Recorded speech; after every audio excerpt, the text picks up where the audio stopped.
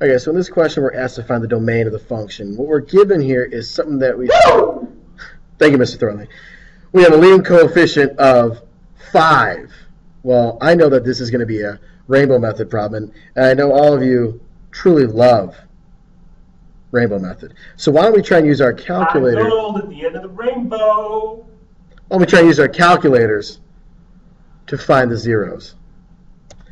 So our y equals, right, and our y equals, we'll plug in 5x squared plus 7x minus 6. Notice I didn't have the radical in there, and here's the reason why. If I'm trying to find my zeros, I'm really just taking what's inside the radical, setting it equal to 0, and solving.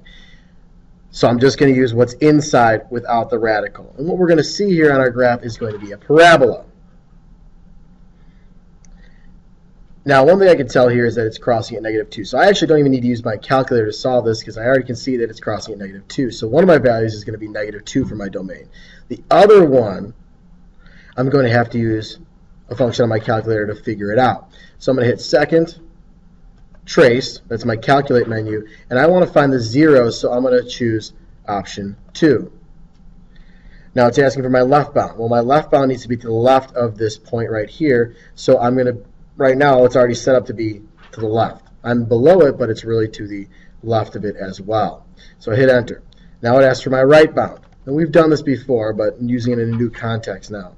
I'm going above it because that's also going to be to the right slightly. So I hit enter. And you'll notice both these arrows are pointing in towards the center, which is that point that I want to find. So now I'm going to guess. So I get close to being right on there.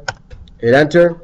And I get 0.6. And I'm okay with using decimals or as a fraction, that'd be 3 fifths when it's simplified. So I have my two values. I have negative 2 and I have the 0.6. So my domain is going to be x is less than or equal to the negative 2 or x is greater than or equal to the 0.6 or 3 fifths. All right, and that's how you can use your calculator to figure it out rather than doing rainbow method if you dread using rainbow method. Either option works.